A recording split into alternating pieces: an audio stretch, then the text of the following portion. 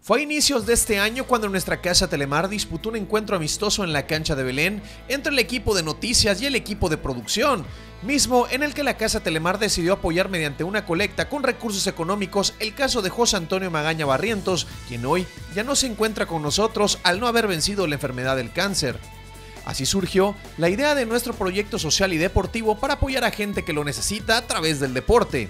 Fue entonces que un 31 de julio se aterrizó el proyecto que hoy llamamos con orgullo Corazones Telemar, en la cual personal de nuestra dependencia juega partidos amistosos de fútbol enfrentando a diferentes equipos de asociaciones civiles, así como de dependencias privadas y gubernamentales, con el propósito de generar tanto recursos económicos como en especie y así apoyar los diferentes casos vulnerables del estado de Campeche.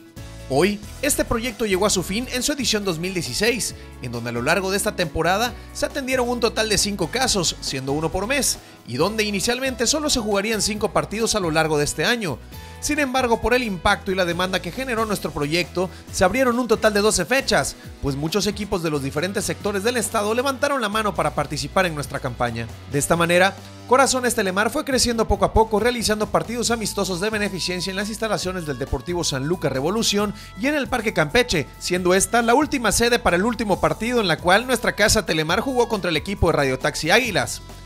Al principio del protocolo se tomó la foto oficial entre ambos equipos con don Guillermo Gutiérrez, esposo de la última beneficiaria de Corazones Telemar, la señora Julia del Carmen Pérez Cuevas, quien padece esclerosis lateral amiotrófica. Al ser este el último partido de la campaña, no podían faltar unas palabras de aliento para el equipo Telemar antes de iniciar el partido. El haber cumplido con este proyecto, el haber representado los diferentes casos eh, a lo largo de esta campaña. Bueno, este proyecto lo hicieron ustedes, no es un proyecto de Manuel Cruz, es un proyecto que ustedes lo vinieron a realizar, ustedes vinieron a jugar en cada partido, estuvieron puntualmente eh, viniendo a divertirse y les recuerdo lo que se mencionó al principio, independientemente de cualquier marcador de que se haya tenido a lo largo de esta campaña, lo más importante es divertirse para ganar y no ganar para divertirse. Así que lo único que les pido el día de hoy es que vamos a divertirnos, vamos a echarle todas las ganas y a disfrutar este último partido. Un, dos, tres, Telemar.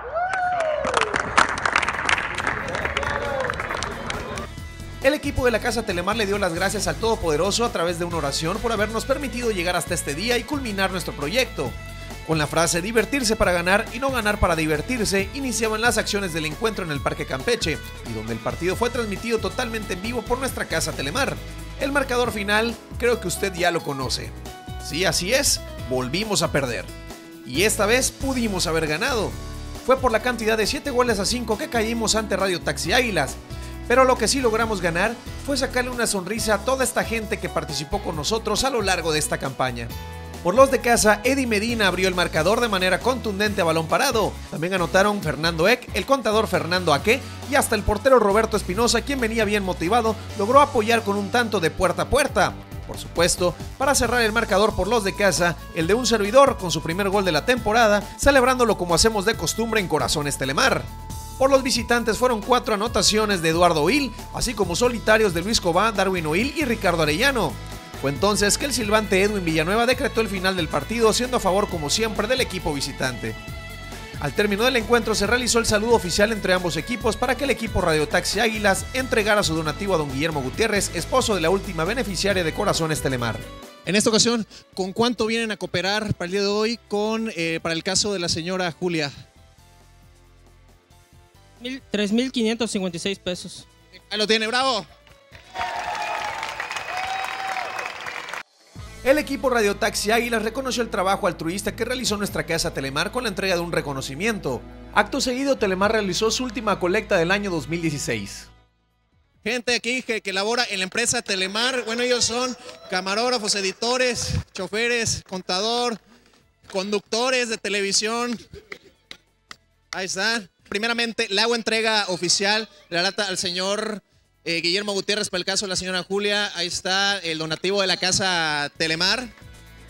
Fueron cinco los casos que se atendieron durante esta edición 2016 de Corazones Telemar, quedando los donativos distribuidos de la siguiente manera.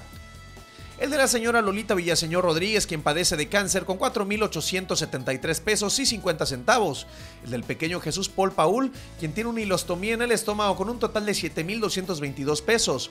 Uno de los casos más delicados de Corazones Telemar fue el del niño Jorge Mendoza Hernández, quien no logró vencer a la enfermedad del cáncer. Sin embargo, con el aporte de todos los equipos involucrados, se logró juntar la cantidad de 8.856 pesos con 70 centavos. Posteriormente, el caso de Alejandra Domínguez Caligua con problemas cuadraplégicos se le entregó la suma de 9.267 pesos. Y para finalizar este año, la señora Julia del Carmen Pérez Cuevas, quien padece de esclerosis lateral amiotrófica, se le logró recaudar la cantidad total de 9.696 pesos. De esta manera se logró la sumatoria del gran total de nuestra campaña Corazones Telemar en su edición 2016.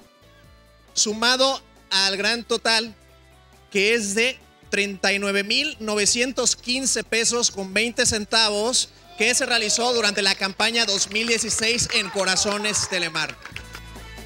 Durante el evento se le entregó el trofeo como mejor goleador de esta campaña al camarógrafo de noticias Fernando Eck con 9 goles. Asimismo, se le entregó reconocimiento a los equipos que participaron durante esta campaña a manos del coordinador general de Telemar, el licenciado Carlos López Blanco, y por supuesto a los integrantes del equipo de la Casa Telemar hay muchas personas a las que tenemos que agradecer este programa eh, social y deportivo que está llevando a cabo Telemar. Eh, desde luego eh, es para las personas que lo necesitan. Para nosotros es muy importante, desde luego, que toda nuestra admiración, todo nuestro respeto a todas las personas que están pasando por momentos difíciles en este momento, a todo el equipo Telemar, porque estar aquí todos los domingos, de verdad, y de manera completamente voluntaria. Al final no podía faltar la parte emotiva, la disque foto oficial del equipo Telemar. A ver, espera, espera. Una, dos, tres.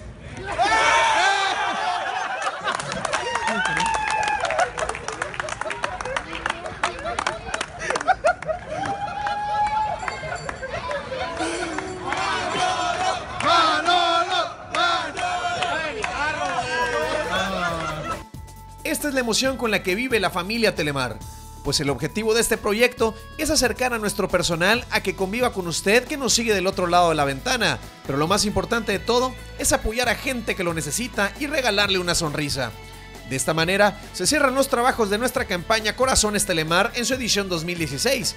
Y no queda más que decir a todos los que participaron con nuestro proyecto, muchas gracias a todos por su cooperación. Porque su sonrisa es nuestro mejor regalo. ¡Corazones Telemar!